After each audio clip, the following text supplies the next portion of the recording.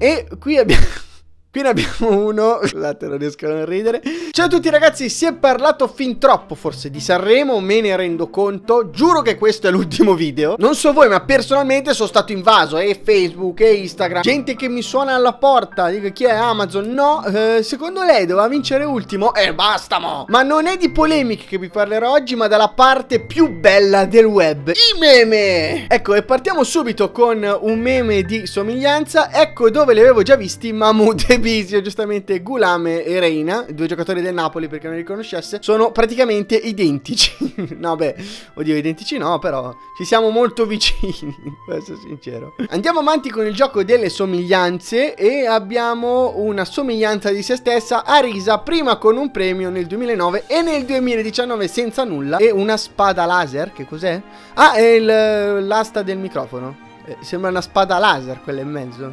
Vabbè, lasciamo stare. E invece abbiamo anche un'altra persona che probabilmente si è goduta Sanremo direttamente davanti al vetro. Ed ecco qua, anche quest'anno sono davanti all'Ariston. Giustamente una lavatrice. Ci sta, ci sta, ci sta. Un'altra cosa che è emersa da Sanremo è che Baglioni non ce la fa proprio a non cantare. E allora vediamo un ospite di Sanremo con uh, Baglioni che si avvicina uh, 4-4 per uh, duettare. Ed ecco giustamente per rimanere in tema quando stai cantando sotto la doccia e spunta Baglioni per duettare perché non riesce proprio a stare fermo. E ancora arriviamo a un altro bellissimo uh, meme uh, classico uh, con Batman, di solito c'è Robin, ma stavolta c'è Baglioni che dice quella sua maglietta fine, boom, Claudia basta, eh che cavolo, ci ha rotto.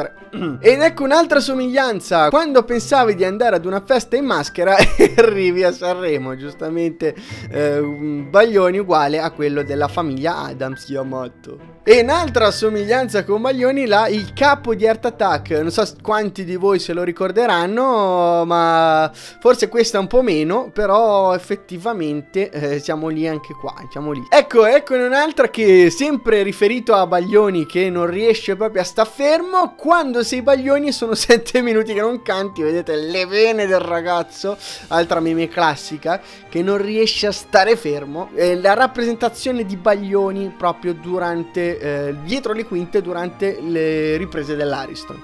Prossimo invece ci esorta a dare sempre ascolto alle nostre mamme, non come ha fatto Bisio, infatti vediamo, guarda che pioverà, prendi l'ombrello, come disse mia mamma, io, ma no mamma c'è solo un, c'è un bellissimo sole fuori. Bello, bello, bello, sempre io dopo qualche ora fa distrutto, lavato completamente e succede nella vita reale, quindi mi raccomando prendete l'ombrello se lo dice la mamma. Questo è un meme che ci ha regalato il bravissimo Bisio, è stato fantastico in questi casi, quando dopo 5 serate che rompi con la storia dei 0,51 centesimi per votare il vincitore di Sanremo e ti accorgi invece che, fa, che vince il terzo grazie al voto della giuria di qualità dei giornalisti. E eh beh, è stato, è stato, ha avuto molto senso come cosa. Effettivamente ci ha regalato questo meme e giustamente andava sfruttato in qualche modo. Siamo ancora su Baglioni che vuole cantare per forza. Per presentare Sanremo viene accantonato per far posto al cantare. Allora, questo è per tutti coloro che vanno al cinema e si lamentano se hanno una persona davanti. Sappiate che c'è chi sta peggio di voi. Qua una signora che non vede che cosa davanti per via del cappello di Bastianic. Uno spende migliaia di soldi e poi ci trova Bastianic davanti, grandissimo. Attenzione perché non esiste solo Ulisse, ma anche Baglioni. Infatti vediamo nel cavallo di Troia il concerto di Baglioni e la Rai che lo porta a tutti noi spacciandolo per Festival di Sanremo. Ma in realtà era di fatto un concerto di Baglioni, non so se avete notato. E siccome probabilmente i duetti non bastavano, i due cantanti hanno addirittura deciso di dialogare tra loro tramite le loro canzoni. Come va, come va, come va? Mi sento bene, perfetto. A posto. Questo invece è sull'abbigliamento discutibile di Bisio. Infatti vediamo, assumo Aghilleo di One Nost. effettivamente, scusate la mia pronuncia, effettivamente eh, la giacca di Bisio sembra il divano di mia nonna. Ma quello è il divano di mia nonna. E per ricordarci anche amici dell'anno scorso e le polemiche che erano sorte dopo l'autotune del biondo, vediamo qui Ermal Meta dietro le quinte che ascolta l'autotune di biondo. Carretto passava e quell'uomo gridava gelati. L'abbigliamento è molto da gelataio. Molto, ma veramente tanto. Cioè, veramente, la gente mi avrebbe preso in giro. Invece lui no, era all'Ariston, quindi va bene così. Invece, per tutti gli appassionati degli anime e dei manga, abbiamo Gamon, che non è quello di Lupin, ma lo stesso riesce a ringraziare il suo stilista Naruto Uzumaki vestito come eremita eh, ed in maniera identica al rapper. E andiamo ancora col gioco delle somiglianze, stavolta è sempre lui, scusatemi, sempre lui, è Mahmood con Gulam, quando perdi lo scudetto ma 5 ore dopo vinci Sanremo, fantastica. E ancora abbiamo Mahmood e Gulam, dopo la rottura del crociato si riscatta e vince Sanremo, respect. Questo invece è un messaggio che voglio rivolgere a tutti gli universitari, non vi preoccupate, non mollate perché non sarete mai messi come Patti Bravo, eh, che è fuori corso di qualche anno rispetto invece a Briga che è giusto con gli studi. Vediamo qua una differenza veramente abissale, fantastica. E anche quest'anno si è sentita la mancanza del nostro maestro, guardate intanto cosa stava facendo Vessicchio, sorseggia del latte con i biscotti, fantastica, bellissima anche questa immagine, hashtag intanto Vessicchio. Qui abbiamo invece delle somiglianze parentali, qui bisogna fare il DNA secondo me perché John Johnny Depp che in Pirati dei Caraibi è identica a Patti Bravo. Per gli amanti invece degli anime sportivi abbiamo un grandissimo ritorno a Sanremo, guardate, c'è zia Ornella Vanoni con uh, Loredana Bertè, sono veramente uh, 30 anni dopo, identiche a Mila e Kaori, mi sembra che si chiamasse la ragazza blu. Questa invece mi tocca nel profondo perché devo essere sincero, sembra veramente il riassunto della mia vita. Infatti vediamo Mahmood sorridente e invece un ultimo triste e sconsolato, gli altri e me. Sì, è brutta come cosa, ma è la verità. Poteva mancare la meme di Messi, ma assolutamente no. Vediamo. Televoto Sanremo, ultimo 47, il volo 39, Mahmood 14, vincitore Mahmood. E guardando solo la giuria popolare c'è qualcosa che non va, ma va bene così. Questa è una delle cose invece che ha fatto più scalpore probabilmente nella prima serata. Un altro meme eh, popolarissimo del ragazzo di colore che guarda le gambe, ma sopra c'è Loredana Bertè. E rimane un, ci rimane un attimino male, un po' come tutti noi. Ecco, questo invece veramente un amante del festival che ha voluto tributare così quando a un certo punto della serata cambiano canale su Sanremo. Sì, eh, veramente si vede proprio la passione dentro questa persona che ha creato questo meme.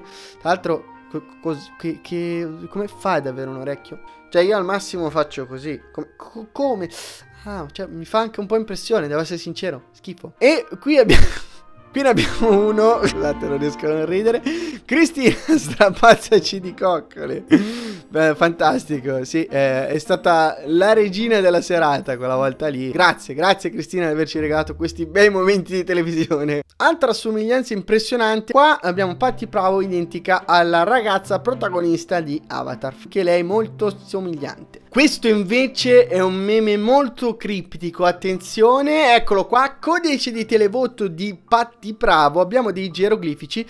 Immagino che lei eh, fosse bella esattamente come Cleopatra, giusto per mettere dei geroglifici, giusto? Assolutamente nessuno pensava che fosse una mummia, vero? Invece abbiamo un concorrente d'eccezione che nessuno ha visto ma fidatevi che c'era, eccolo qua, Matteo Salvini canta Nessuno mi può giudicare. Poi c'è invece chi preferisce altro al Festival di Sanremo. Tra Sanremo e San Valentino io preferisco il Sangiovese, cheat, fantastica, bellissima, ottima. Ne abbiamo un altro invece a tema calcistico uh, che fa riferimento allo strapotere nel calcio italiano della grandissima vecchia signora. Infatti vediamo tanto pure quest'anno Ori vince a Juve. In pratica uh, la Juve vince talmente tanto che vince anche Sanremo. Allora questo non è prettamente un meme, però l'ho voluto mettere perché volevo farvi capire la situazione di frustrazione che deve provare Ultimo in questi momenti. Guardate,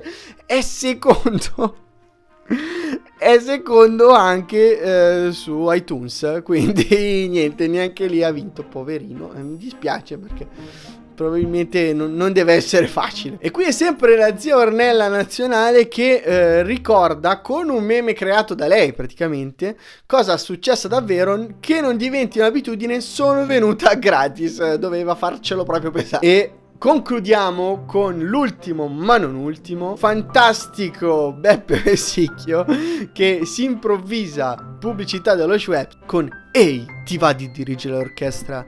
Solo io e te? Bene ragazzi, questi erano per me i migliori meme di Sanremo 2019 Se il video vi è piaciuto mettete mi piace Mi raccomando commentate, magari ne avete trovato un altro O ve ne siete inventato un altro voi Voi ditemelo, mi raccomando E noi ci vediamo sabato con il prossimo video Ciao!